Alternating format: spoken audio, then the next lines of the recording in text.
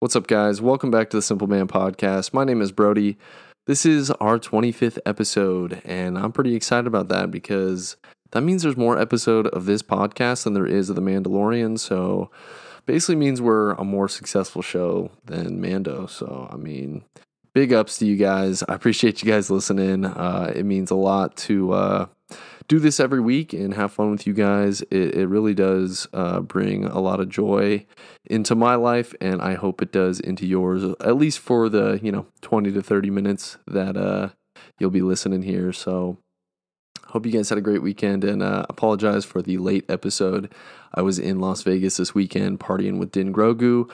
Uh, if you saw that on my uh, Simple Man Instagram, it's pretty funny. Um, there was a bunch of Star Wars costumes out there on Las Vegas Boulevard, and um, they were all bad. So, uh, no, it was fun. Uh, I was there for a friend's wedding, and uh, just took me an extra day to get the pod out. So, apologize for that. But glad you're here now, listening. And um, yeah, last week was actually the first week of 2023 with no new Star Wars show episode um, that came out. But of course, Jedi Survivor debuted on Friday, so that kind of made up for it.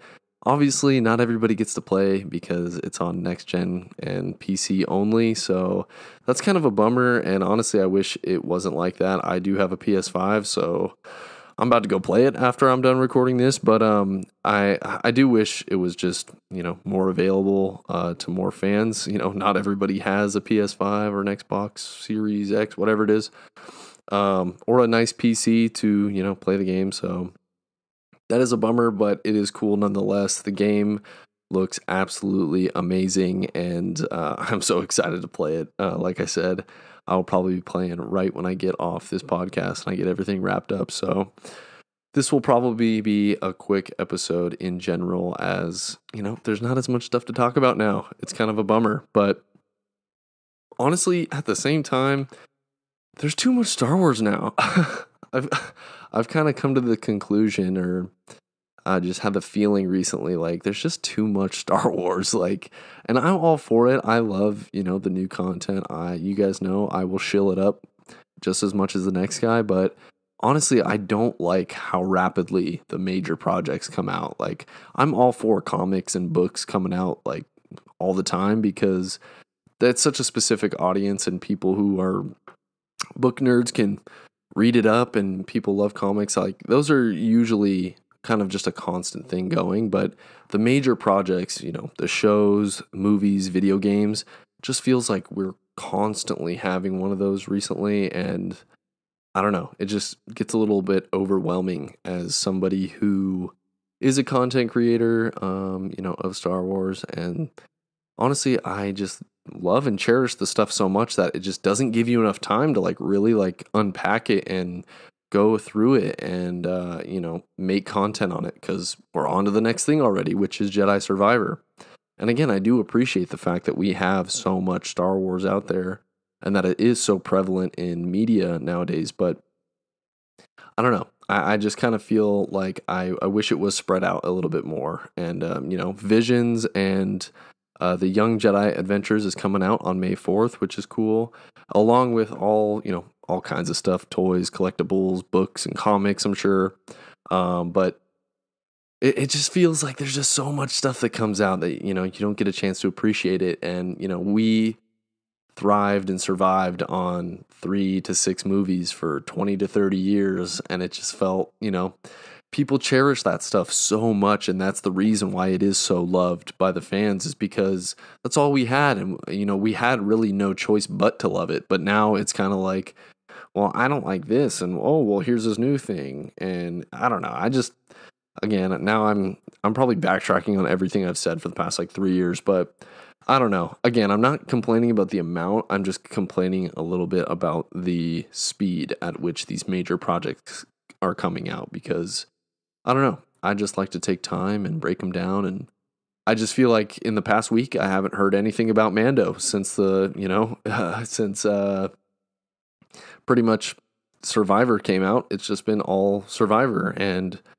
Mando is gone and nobody even cares anymore. Like the fight is over, which is nice, but it's just gone with the wind. And, you know, we're waiting for Ahsoka. So I, I don't know. I, I'm interested to see if you guys would agree with that and if you think or feel the same way because um, I kind of did start to feel like this last year, though. You know, the year started out strong with Boba Fett and Obi Wan, and then Andor came and Tales of the Jedi, and it. At the end of the year, I just kind of got overwhelmed. I was like, "Geez, man, we've had so much stuff." And this year, it's just even more. You know, we just keep getting more and more and more. So, again, I'm not super complaining. And I'm probably going to go play Jedi Survivor for like five hours after this and I'll eat up as much Star Wars as they'll give me. Again, I think just from the creator perspective, it does get a bit overwhelming when my brain has been so focused on Mando for the past two months and then it's just gone and, you know, irrelevant at this point now. But I guess maybe that is just my perspective. I know it's not how everybody feels. So, again, uh, did not mean to kind of go off on that, but there's just too much Star Wars, man. Too much too much. Uh, that's crazy to say, but on, honestly, awesome at the same time. And as somebody who does enjoy the majority of it, it, it does feel cool that you know we continuously get this awesome, um, these awesome projects. So and hey, that goes along with the old stuff too. Return of the Jedi uh, released or re-released in theaters this past weekend, and uh, it was awesome to get to hear people's stories of you know going to the theaters with their friends to see it, or taking their son that you know obviously they would have had no opportunity to take their children there um, to see Return of the Jedi in theaters, but that kind of stuff is just awesome to me, and such a huge reason of why I love Star Wars and why it's so cool that it's just so prevalent in today's uh, pop culture and stuff is you know the fact that we get to share it with our friends and family experiences that we would have never had because the movie came out 40 years ago it's just it's just so cool. And i mean it made 5 million dollars over the weekend which is cool. I mean it was barely promoted and it was barely in that many theaters worldwide. So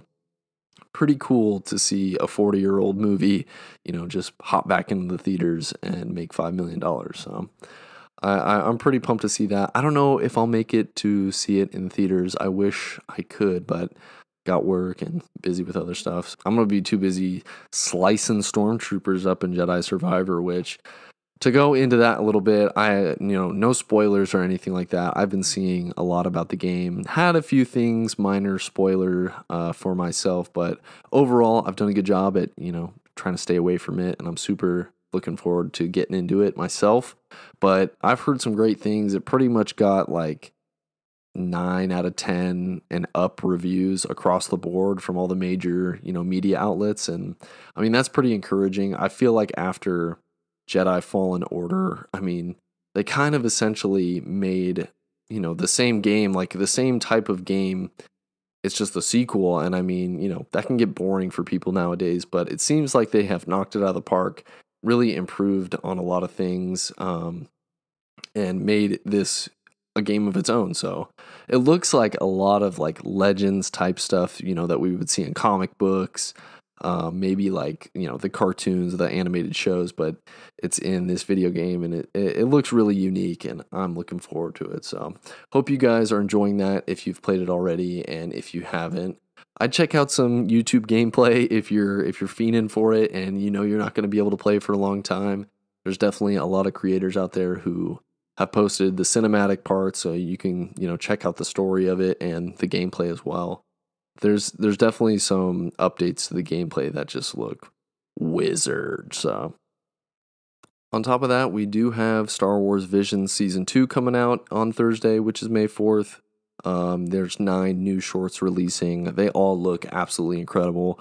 I do like the fact that they went with animation overall instead of just like anime style studios. Um, they they went with nine animation studios that are like from all around the world, and so it's just gonna offer a lot of you know unique flavors to Star Wars, and I'm super looking forward to it. I've heard it's really good, and it might even be better than the first season. So I really enjoyed the first season and thought like, I mean, they pretty much did as good a job as you can with you know what they set out to do with shorts um, that are non-canon and and just kind of for fun. So looking forward to that. And honestly, the uh, the Young Jedi Adventures that show is coming out on May the fourth as well.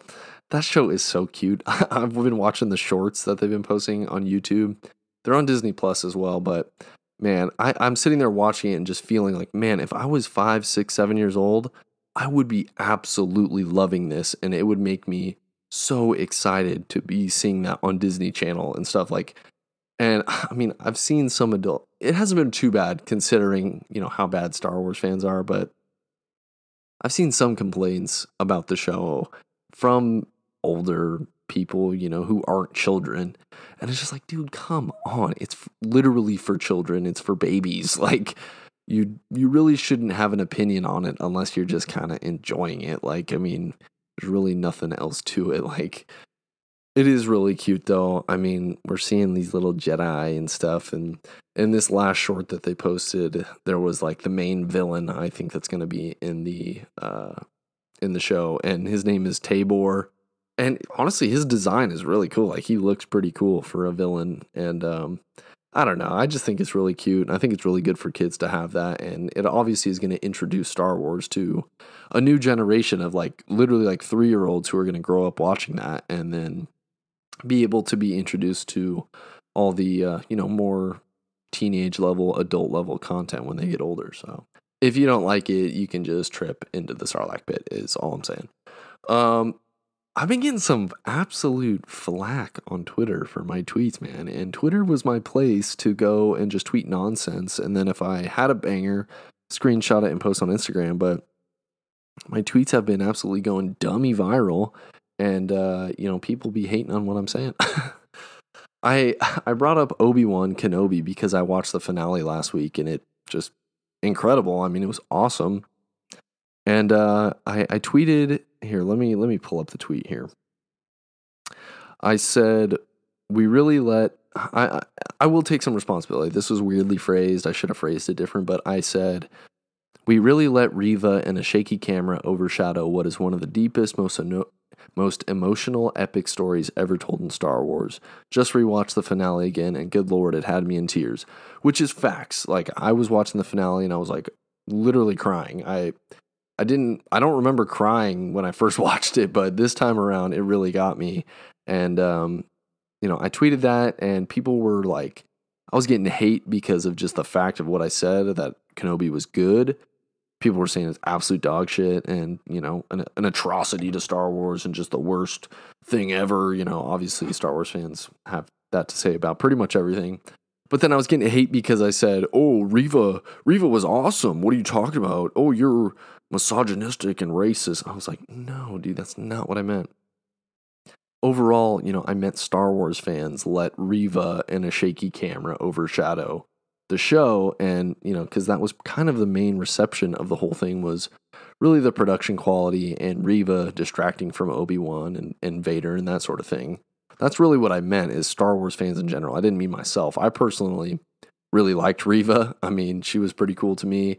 I do agree to some extent, like, there was maybe a, a bit too much focus on her story within, you know, Obi Wan Kenobi, quote unquote. But I enjoyed the character, thought she was pretty cool. I got, I have multiple Reva action figures. I mean, I'm, uh, I'm not a hater, man. I, I I enjoyed her, and it's just funny how literally anything you say on Twitter, Instagram, like you're going to get hate about it. Like if you put an opinion out there, you're going to get shit back. And I guess that's part of it. But at the same time, it's just annoying. Like we're all fans.